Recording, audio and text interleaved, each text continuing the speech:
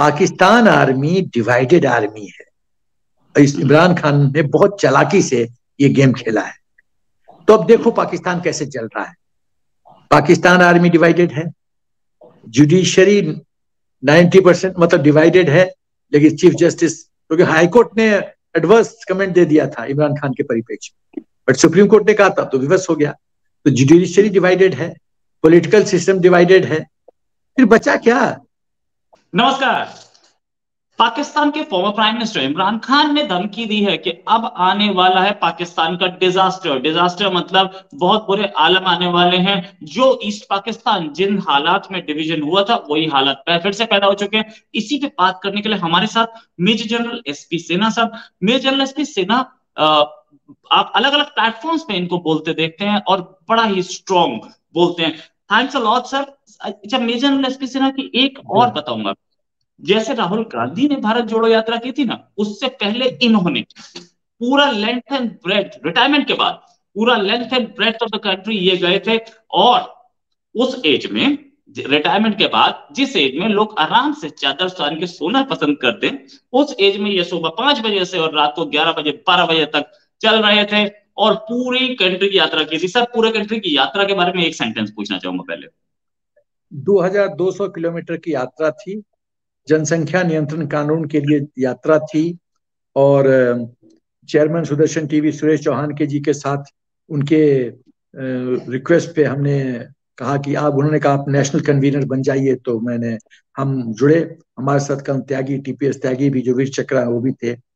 और हम्म। बहुत टफ बहुत टफ मतलब पाँच बजे उठना ग्यारह बजे सोना और खाने का ठिकाना नहीं लंच कहाँ खाना कोई ठिकाना नहीं कोई बहुत कष्ट।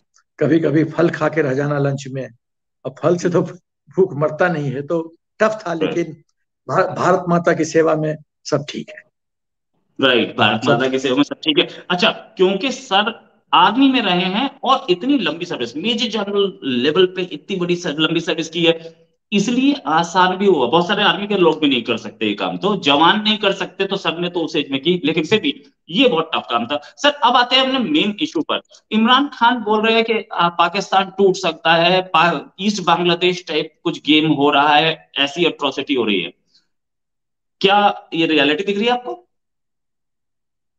देखिए पॉलिटिशियंस लोग ब्लो हॉट ब्लो कोल्ड करते हैं, उनके हर एक सेंटेंस में प्रोपेगेंडा शामिल है। कितना सत्य है कितना झूठ है ये आप भी जानते हो हम भी जानते हैं। अब सवाल है कि इमरान खान जो बोल रहे हैं जो अभी ईस्ट पाकिस्तान के बारे में बोल रहे थे वो सच है। वो सच है कि मुजीबुर रहमान भाई एक फेयर इलेक्शन हुआ। फेयर इलेक्शन में मुजीबुर रहमान की पार्टी मेजोरिटी में आई। उनको प्रधानमंत्री क्यों नहीं बनने दिया गया? क्यों नहीं बनने दिया ये प्रश्न रेज कर रहा है। फिर इमरान खान कह रहे हैं कि एक पॉलिटिशियन उनका हिंट था जुल्फिकार अली भुट्टो के की तरफ़ कि एक पॉलिटिशियन ने अपने महत्वाकांक्षा के लिए देश को बर्बाद कर दिया। एक, एक तुलना कर रहे हैं। ईस्ट पाकिस्तान का केस और अभी प्रेजेंट पाकिस्तान का केस कंपैरिजन कर रहे हैं। वो कह रहे हैं कि एक महत्वाकांक्षा पॉलिटिशियन उन्होंने नाम नहीं लिया लेकिन जुल्फिकार अली भुट्टो थे। उन्होंने उनके चलते देश के टुकड़े हुए उन्होंने पाकिस्तान आर्मी को उकसाया कि सवाल नहीं पैदा होता है कि मुजीबुर रहमान प्रधानमंत्री बन जाए पाकिस्तान के। हम इसका विरोध करेंगे। पाकिस्तान आर्मी का उस समय डिक्टेटरशिप था। वो मान गए, उस झांसे में फंस गए। और फिर क्या हुआ तो इतिहास, आप जानते ही हैं क्या हुआ, टुकड़े हुए। तो इशारा देख रहे हैं कि आज भी एक पार्टी के एक महत्वाकांक्षा महत्वा, महत्वाकांक्षी पॉलिटिकल लीडर के कारण आर्मी उसी, फिर उस ट्रैप में फंस रही है और फिर पाकिस्तान के टुकड़े होंगे अब ये पूरा बैकग्राउंड आपको समझने की ज़रूरत है कि पूरा केस क्या है। केस है सर्वाइवल ऑफ़ द फिटेस्ट इस जंग में, इस पॉलिटिकल वॉर में बैटल में कौन जीतेगा, कौन हारेगा और जो हारा, वो खत्म है। स्थिति इतनी भयंकर है। जो हारा, वो खत्म है। दूसरा उसको रूथलेसली क्रश कर देगा। इमरान इस बात को जानते हैं, शहबाज शरीफ इस बात को जानते हैं। तो जो सर्वाइवल का फिटेस्ट है सर्वाइवल फिटेस्ट का जो कहानी है तो अब इंपॉर्टेंट प्लेयर कौन बन के आता है? पाकिस्तान आर्मी पाकिस्तान में तो पत्ता भी नहीं हिलता पाकिस्तान आर्मी के बिना। और चाहे शहबाज शरीफ हो, चाहे नवाज़ शरीफ हो, चाहे इमरान खान हो, ये सब के सब पहले आर्मी के क्लोज जाते हैं उनसे रिश्ता बनाते हैं, नजदीकियाँ बढ़ाते हैं और उनको विश्वास दिलाते हैं कि हम आपके खास हैं। जो आप कहेंगे आका, हम मानेंगे। और सडनली ये रियलाइज़ करते हैं शहबाज शरीफ तो नहीं बट नवाज़ शरीफ है, इमरान खान सडनली रियलाइज़ करते ना, अब वक्त आ गया है कि हम अपना इंडिपेंडेंट स्टेटस बनाए। समस्या वहाँ से शुरू हो जाती है। ये एक गाना है ना, जो तुम, जो हमको, जो तुम कहोगे तो नहीं, दोस्त तुमको हो पसंद, हम बात करेंगे तुम दिन को कहो रात तो रात कहेंगे। जब ये गाना जब तक जब तक पॉलिटिकल लीडर गाता है पाकिस्तान में, बढ़िया। जहाँ वो अपना धुन बजाना शुरू करता है पाकिस्तान आर्मी, नाग मुद्रा में आ जाती है और उसको ध्वस्त करने की तैयारी करने लगती है। जैसे नवाज़ शरीफ का किया, पनामा लीक्स में उसको 52 जनरल्स का नाम था, उसको कुछ नहीं हुआ, लेकिन नवाज़ शरीफ को पिकअप किया। और गैर कानूनी और कंस्पिरेसी के षड्यंत्र करके उनको उठा के फेंक दिया, उनको लंदन जाना पड़ा। और वो तीन बार सत्ता से हटाया गया था आपको भी पता है।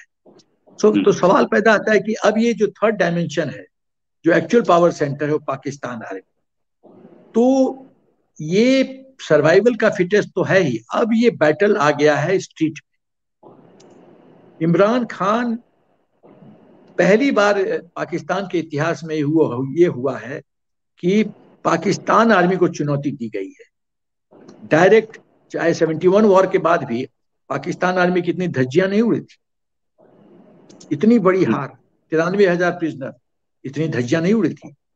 जिस तरह से इमरान खान पाकिस्तान आर्मी के धज्जी उड़ा रहा है कि जनरल बाजवा चोर है पाकिस्तान आर्मी चोर है पाकिस्तान आर्मी के जनरल चोर हैं पाकिस्तान आर्मी के जनरल्स का कोठियाँ लंदन में होता है ये पैसा आया कहाँ से? आ, अमेरिका में कोठियाँ होती है।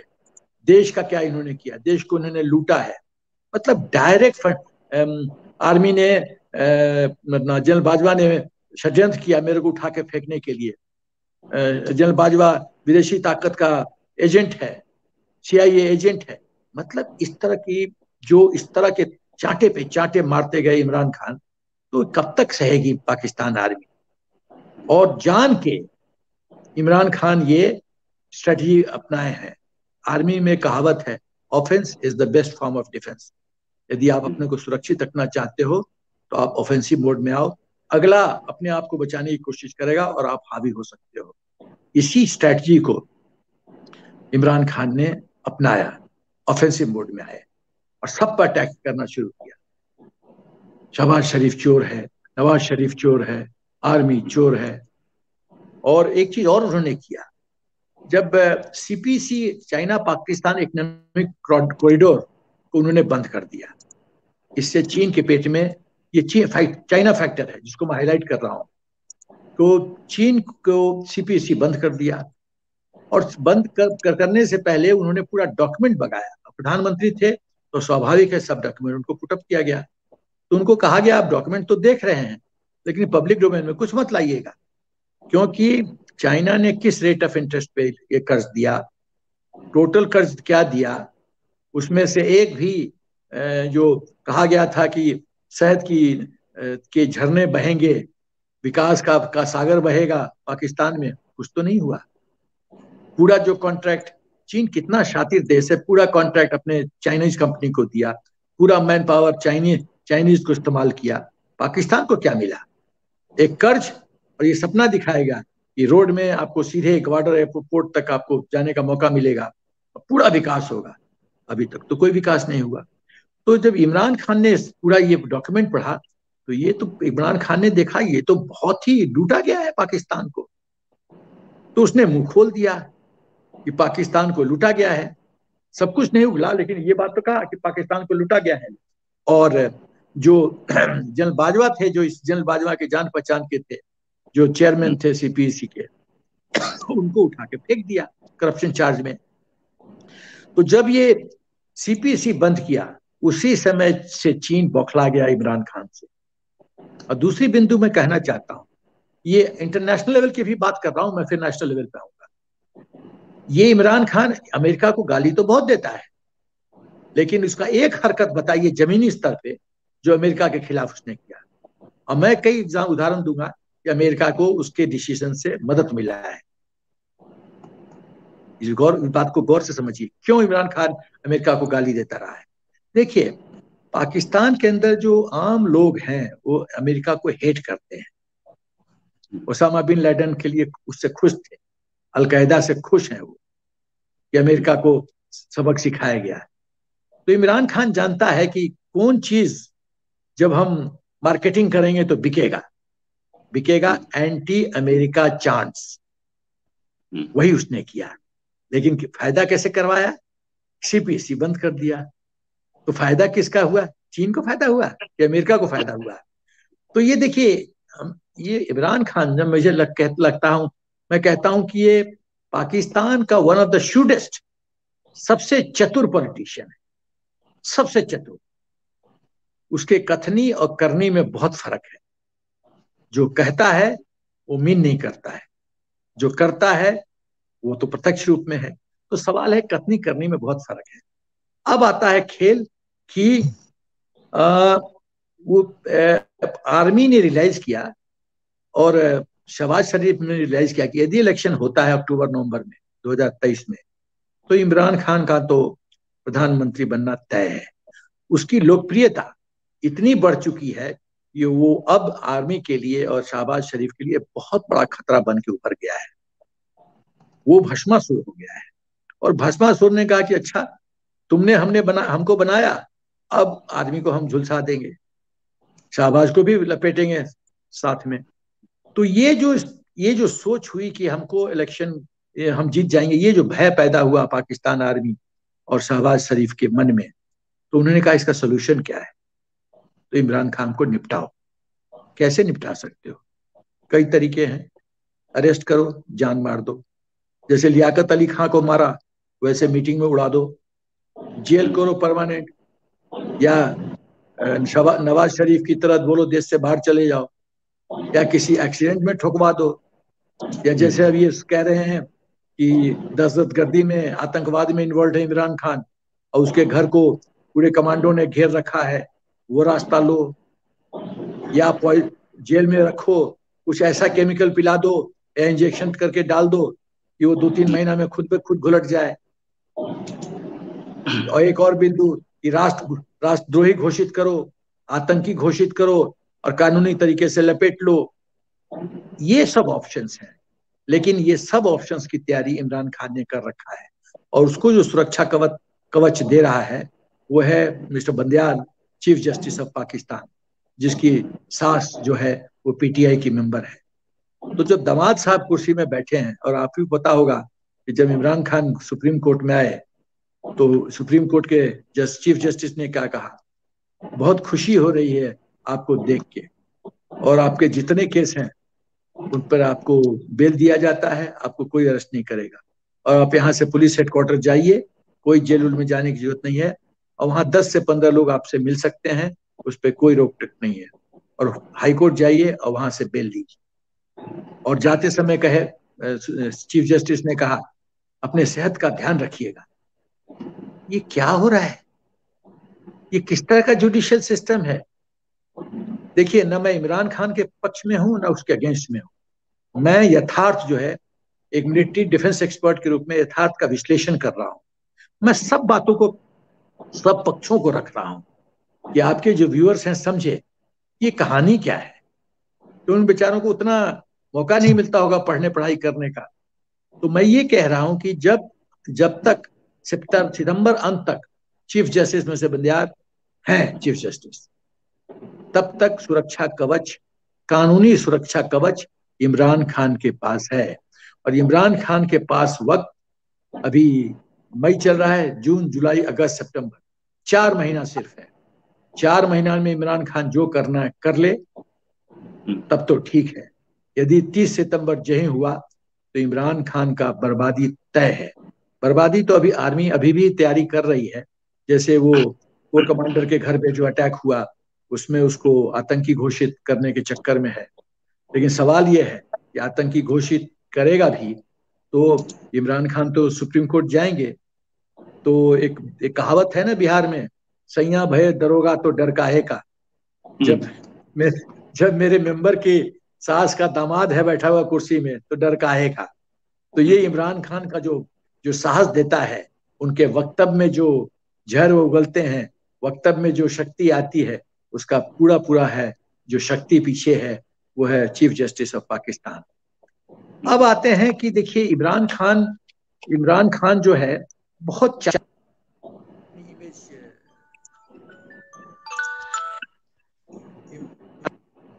इमरान खान ने बहुत चलाकी से अपना इमेज बिल्डिंग किया है।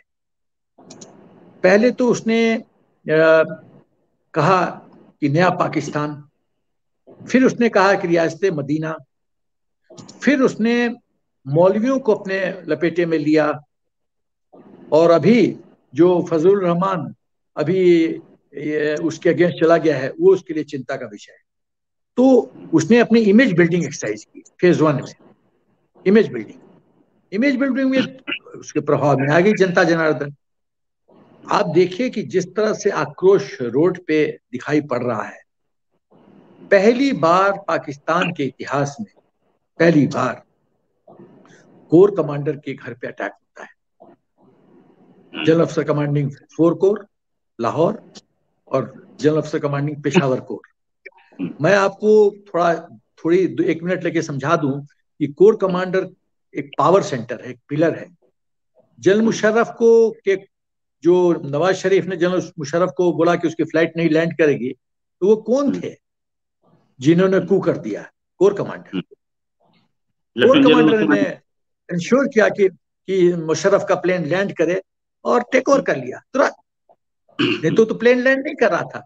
एक भी कोर कमांडर यदि एयरपोर्ट को सिक्योर कर देता नवाज़ शरीफ के फेवर में तो नवाज़ शरीफ बच गए थे। तो सवाल ये है कि कोर कमांडर के घर में अटैक होना ये तो मैं मुझे मुझे विश्वास भी नहीं होता कि ऐसा पाकिस्तान में मुमकिन है।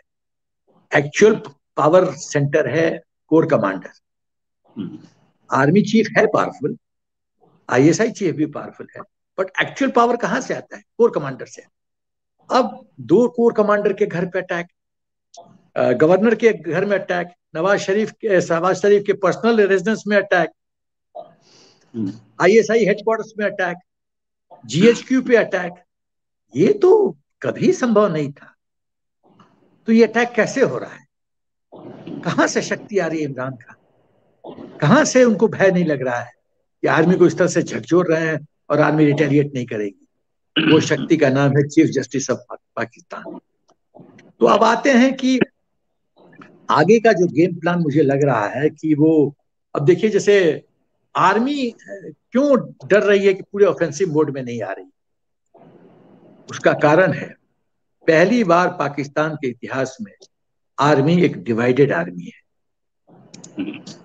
आप दो आर्मी दो कोर कमांडर को आप सैक करते हो।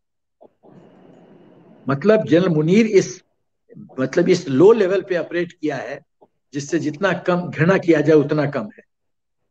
आप जनरल सलमान के बारे में कहा जाता है, बड़े नेक इंसान है, नेक जनरल है। कहा जाता है?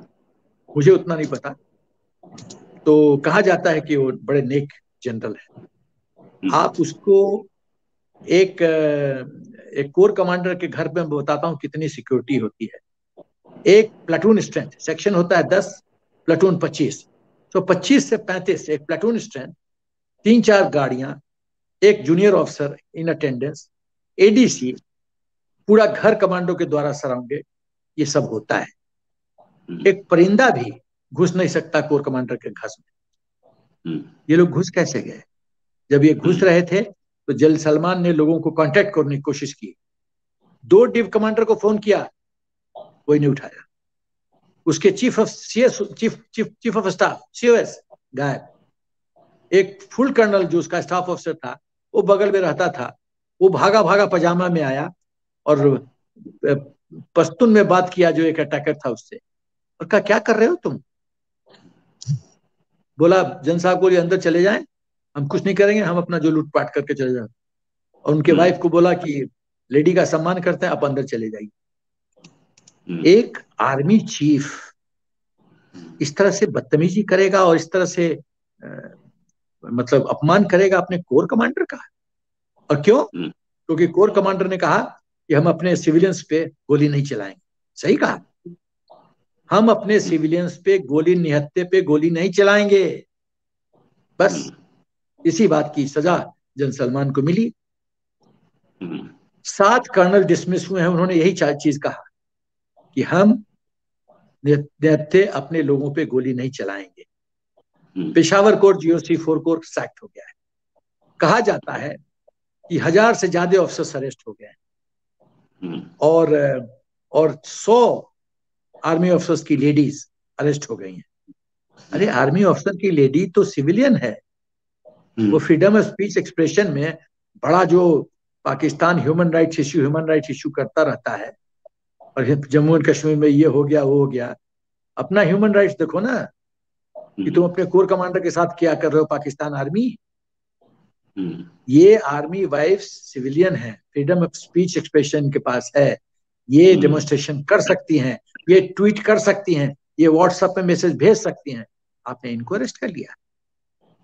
अरे चीफ ऑफ़ आर्मी स्टाफ पिता तुल्य होता है। और इंडियन आर्मी में रोहित मैं तुम्हें एक उदाहरण देना चाहता हूँ। मैं अपने आँखों से देखा है। हम्म।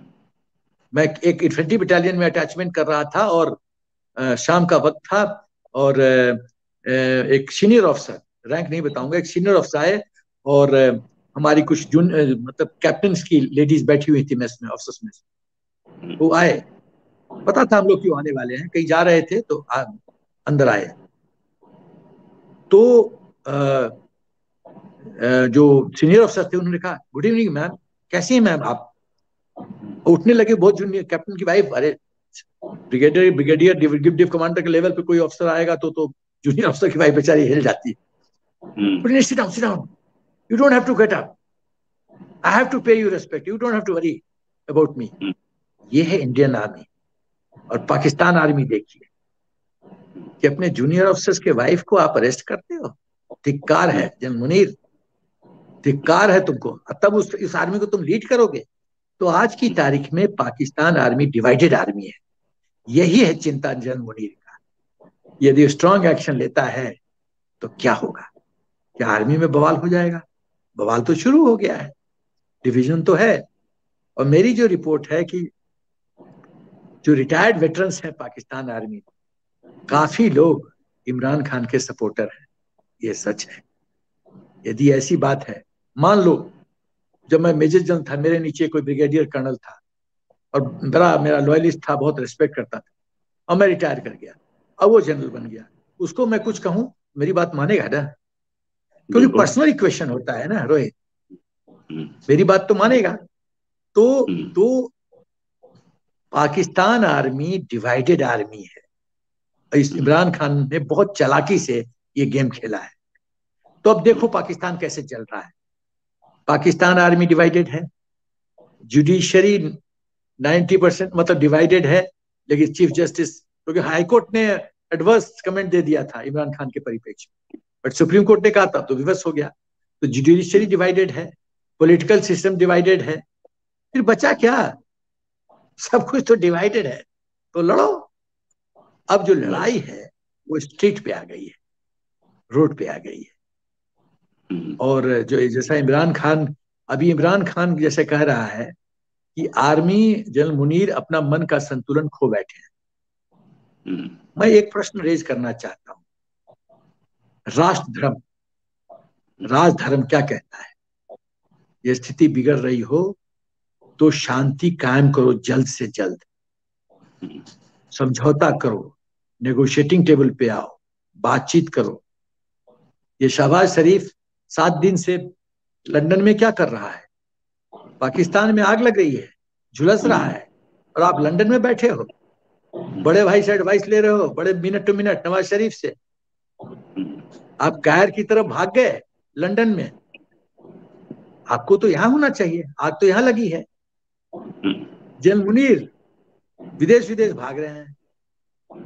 चाइना भाग रहे हैं। तो सवाल यह है कि ये अभी बहुत ही पाकिस्तान के लिए बहुत ही कष्ट का समय है और मुझे लगता है कि पाकिस्तान पूर्ण रूप से बर्बादी की तरफ़ अग्रसर हो रहा है और कहीं ना कहीं मुझे लगता है कि लॉ ऑफ़ कर्मा कैचअप कर रहा है पाकिस्तान के साथ। पाकिस्तान ने जिस तरह से पाप किया है, जिस तरह से राक्षसी सोच रखा है, जिस तरह से इस पाकिस्तान में 80 रेप कैंप रखा था और मेरी इंफॉर्मेशन है कि 80 साल की एक बूढ़ी लेडी को रात भर पाकिस्तान आर्मी के सोल्जर्स बलात्कार करते रहे। ये लोग राक्षसी सोच रखने वाले लोग इतना अमानवीय व्यवहार 80 साल की बेचारी माता हम्म। तुल्य है तुम्हारी। हम्म। पूरी रात उसके साथ बलात्कार करते रहे। अरे तुम तुमको समस्या है मुजीबुर रहमान के साथ। तुमको समस्या है मुफ्ती वानी के साथ। हम्म। अस्सी साल के महिला के साथ माता तुल्य।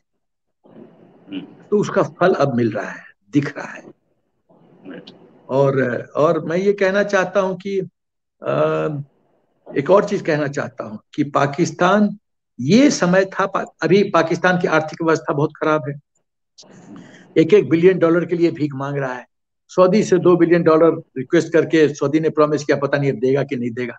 यूएई ने वन बिलियन डॉलर प्रॉमिस किया था, पता नहीं देगा कि नहीं देगा। आईएमएफ कह रहा है कि आठ से साढ़े आठ बिलियन डॉलर हमको दूसरे देशों से लेके दिखाओ, तब हम लोन देंगे। तो सवाल है कि जब तुम्हारा तुम्हारे पॉकेट में पैसा नहीं है लोगों को रोटी नहीं मिल रहा है अनाज नहीं मिल रहा है। अब तुम चले अब पॉलिटिकल युद्ध लड़ने और राष्ट्र में अग्नि आग आग लगाने राष्ट्र को आग में झोंकने। तो ये तो आ, मेरा ख्याल है रामधारी सिंह दिनकर जी का मेरा को पंक्ति याद मुझे याद आती है। जब नाश मनुष्य पे छाता है पहले विवेक मर जाता है और संस्कृत में है विनाश काले विपरीत बुद्धि।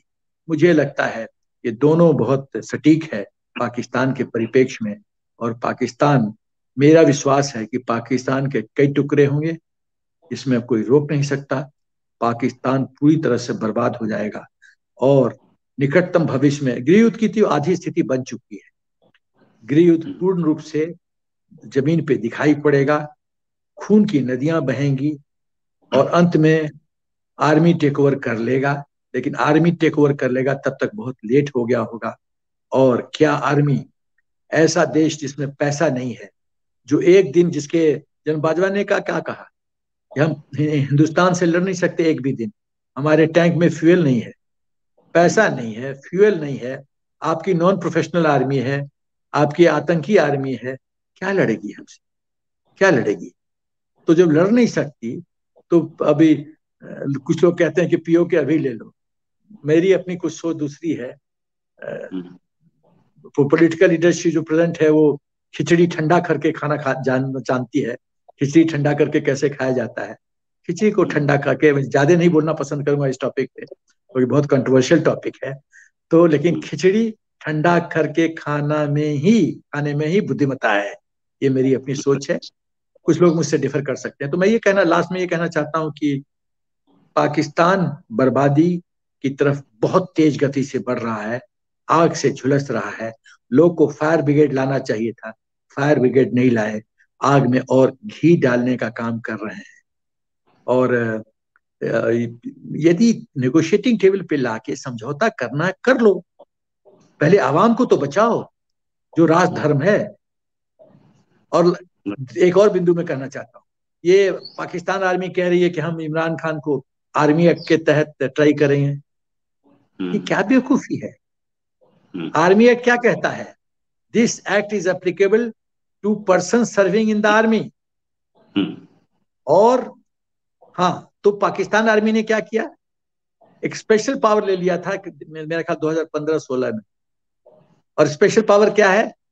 कि कोई दहशत गर्द होगा आतंकी होगा और टेररिस्ट होगा तो उसको हम ट्राई कर सकते हैं अंडर आर्मी एक्ट तो फिर हम्म। आपके कोर्ट्स क्यों है? उसको डिसबैंड कर दो। कोर्ट्स हम्म। किस लिए है? जब सब कुछ आप ही ने करना है तो why high court lower court क्यों? डिस्ट्रिक्ट कोर्ट क्यों?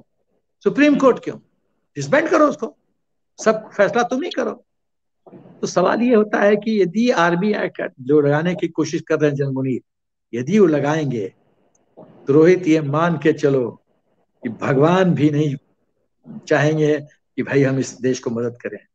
This country is heading for disaster disaster right sir thanks lot sir for joining बहुत अच्छा बताया आपने। बड़ी डिटेल में कि क्या सिचुएशन पाकिस्तान की और क्या, कैसे ये पाकिस्तान डिजास्टर की ओर चल रहा है। Thanks lot for joining sir उम्मीद है जल्दी एक डिस्कशन और करेंगे आपके साथ। अभी के लिए नमस्कार, धन्यवाद। जय हिंद सर